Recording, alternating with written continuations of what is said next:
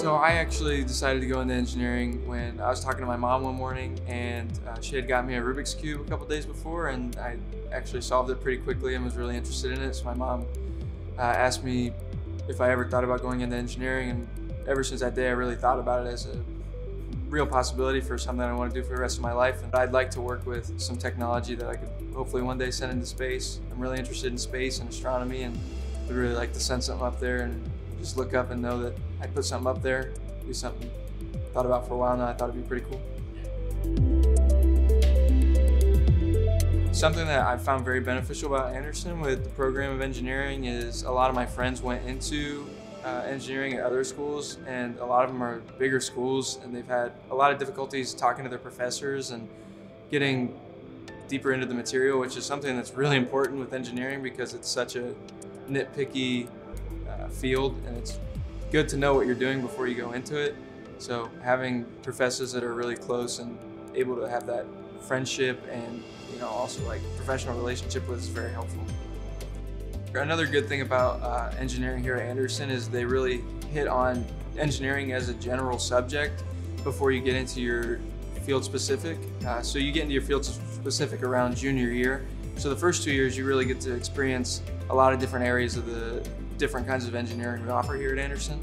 I remember freshman year we actually had uh, we had two specific classes which were the electrical engineering lab and the mechanical engineering lab. And the mechanical engineering lab in here we got to see what a lot of this equipment got to do. We got to experiment with some of it, got to do different projects on it, turn it in, uh, depending on what the project was. We got to test it.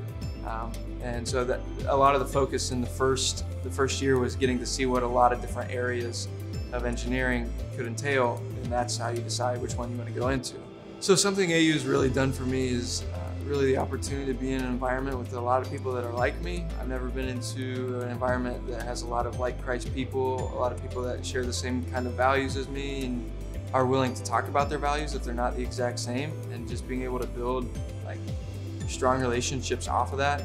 Uh, so AU's really had the opportunity to have like diversity in people's opinions, but also like family and union and values that we share. And that's something I've never had before.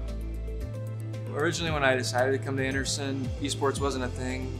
Now it's a thing, and I'm, some of my best friends here at Anderson play practically. So I guess I just got lucky in the fact that Anderson now has esports and I can do that, and I'm able to do that. So something Anderson's really taught me about being an engineer in the workplace is just the ethics of everything and just treating people with the utmost respect and care.